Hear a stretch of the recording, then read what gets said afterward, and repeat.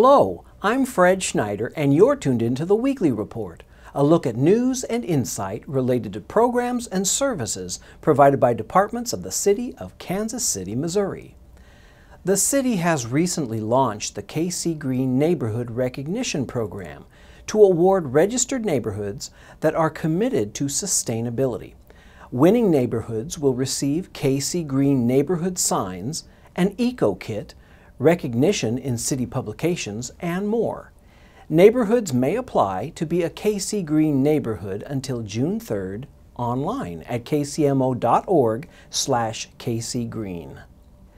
The city's Section 3 office has moved to the Mohart Center, located at 3200 Wayne Avenue. Please note, all office phone numbers, email addresses, and fax numbers remain the same.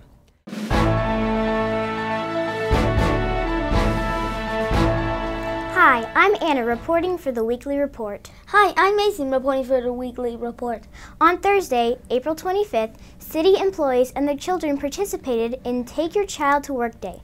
We learned about how city governments works and all of the exciting jobs throughout the city. The mayor also recognized the students at council meeting. Is everybody happy? Yes! Is everybody happy? Yes! Councilwoman Curls. Thank you, Mr. Mayor. Today I rise to uh, welcome young people. Oh, excuse me, Councilwoman Curls. Yes, sir. You guys all know you're on TV, right? Yes. Yes. Yeah. All right, anybody need to fix their hair or anything? Little towel? Everybody good? Yes. Wait a minute, give me. All right, so when you go home tonight, you may be able to find this on channel two, okay? And then you can watch yourselves, okay? Now, here's, here's what you're gonna do. You're all gonna start walking over there and you're gonna see that guy there with the goatee, whose name is not really Troy Schulte. Start with him, each and every one of you, and shake everybody's hands and go around, okay? Oh, I'm sorry. The resolution is now before the council. All in favor, aye? Aye. All opposed, same sign. The resolution is passed.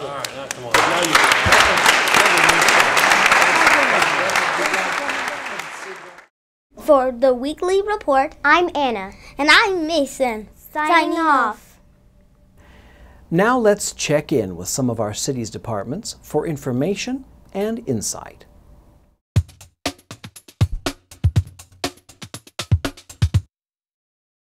Hi, I'm Janet O'Hagan with Kansas City Convention and Entertainment Facilities, here to tell you about some upcoming events taking place at your Kansas City facilities.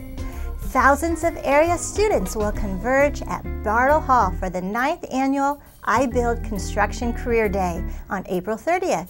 Formerly known as Crayons to CAD, the event showcases heavy equipment and other technology so middle school and high school teens can explore career tracks in construction, including engineering, architecture, contracting, and the skilled trades.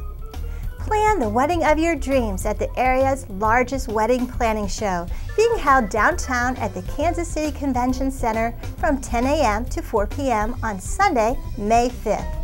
There in the Grand Ballroom, the Engaged Summer Bridal Show will feature more than 150 experts to help you plan the perfect wedding. For more information, call 816 229 9333. Chihuahua Parade is another fun downtown event happening on Sunday, May 5th at Barney Allis Plaza. All kinds of dressed up dogs are welcome at this noontime procession that hopes to break the Guinness Book of World Records for most dogs in costume. A $5 entry fee per dog helps local animal shelters. Visit kcdogparade.com for more information.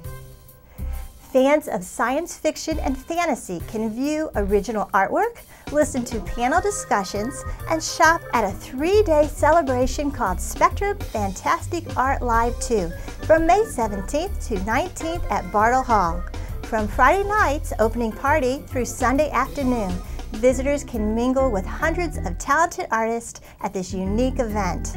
Register and buy tickets at spectrumfantasticart.com. To learn about more events taking place at Kansas City's convention and entertainment facilities, visit kcconvention.com and click on the events calendar or call 816 513 5000.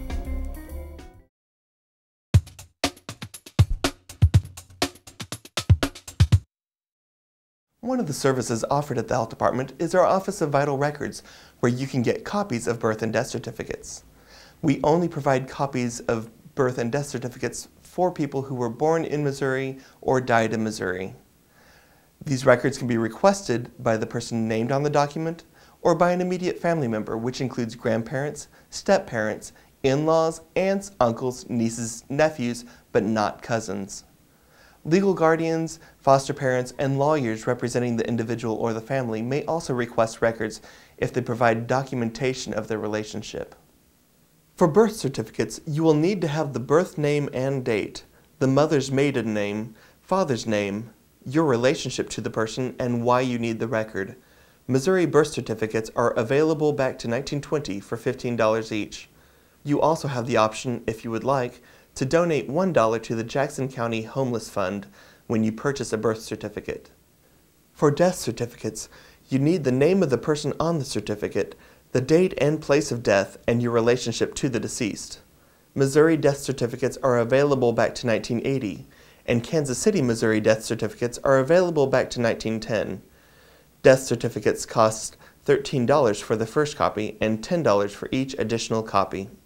You can also request birth or death records by emailing births at kcmo.org or calling 816 513 6309.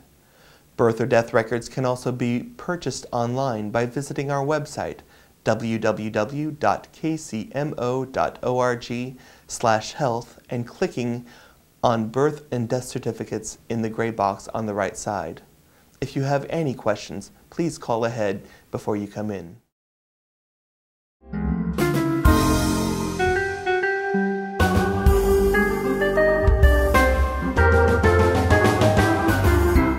Hi, I'm James Garrett, Public Information Officer, Kansas City, Missouri Fire Department.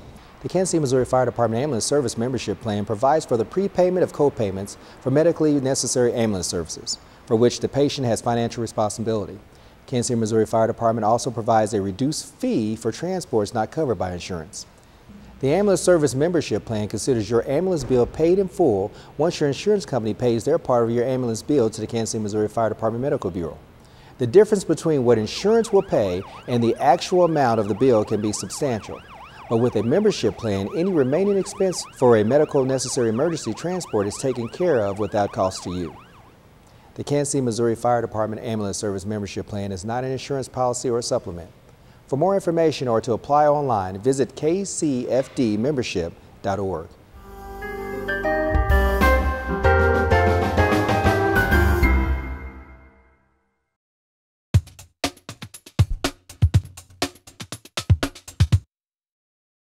The 147th Entrant Officer class recently graduated from the Kansas City Regional Police Academy we thought we'd give you an opportunity to hear one of the new officers explaining what the experience was like. Introducing one of KC's newest officers, Julie Carpenter. Overall, it was just an amazing experience and it totally superseded anything that I'd ever imagined before. Basically, the stuff that in my training that just was above and beyond, I would say, is the DT training was amazing. Um, I never had so many hours of one on one time um, with instructors. They went above and beyond what I had expected. Um, and then when I got to go out on ride-alongs, I got to see how people actually use those, put them into real-life scenarios, and it was um, good getting to see both of them being put together. I believe I was about 15 years old when I wanted, when I knew that I wanted to become a cop. I just saw this female that was out in my neighborhood in Northeast, and I was just really impressed with her. And I thought, man, when I grow up, that's what I want to be. Going out on the street, I'm definitely nervous. I mean, honest to God, um, I'm going to rely on my training. My instructors have been there 100% of the way for me. You know, I feel that they've done an excellent job preparing me for what to expect out there, but I know that this is going to be a completely new experience. So I'm nervous, but I'm excited at the same time. I just want to go out there and, you know, help people out. Um, I want to be there for people in my community. I want to give back. That was more or less one of the reasons why I wanted to be a police officer. I wanted to give back to my community. I believe the mindset of somebody um, contemplating joining the academy and wanting to become a police officer, I think first and foremost you have to have integrity. You have to come in this ready to work hard. You have to have a positive attitude, and every day you have to give it 100% effort. You just have to do the best you can because that's the only way you're going to gain anything from this experience, and it's the only way you're going to make it out of this experience. I would absolutely recommend this to anybody that's got high moral character, um, is up for physical fitness, and enjoys doing different things. Officer Carpenter is assigned to Central Patrol. If you think you would like to become a Kansas City police officer, contact our employment section at 816 234 5400 or visit www.kcpd.org and click on Careers at the top of our homepage. I'm Officer Shelley Gaddis. Have a safe week.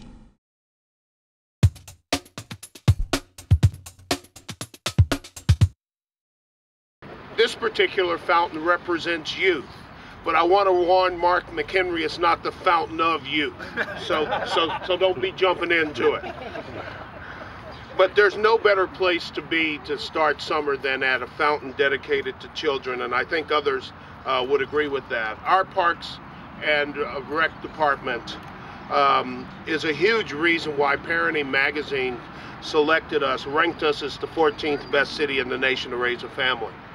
Uh, the department operates and maintains 12,000 acres of parkland, 220 parks, 135 miles of boulevards and parkways, 48 fountains, 87 sculptures and monuments, 29 lakes, 100 plus miles of trails and bikeways, 144 ball diamonds, 105 tennis courts, five golf courses, four museums, and 100 special events and a couple of partridges in a pear tree.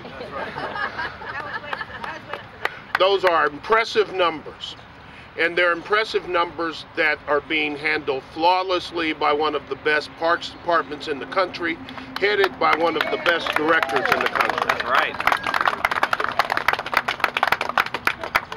Our parks and the way that we approach our parks and the other things of beauty in this city is one of the reasons why Frommer's named us as one of the top 10 cities in the world to visit in 2012.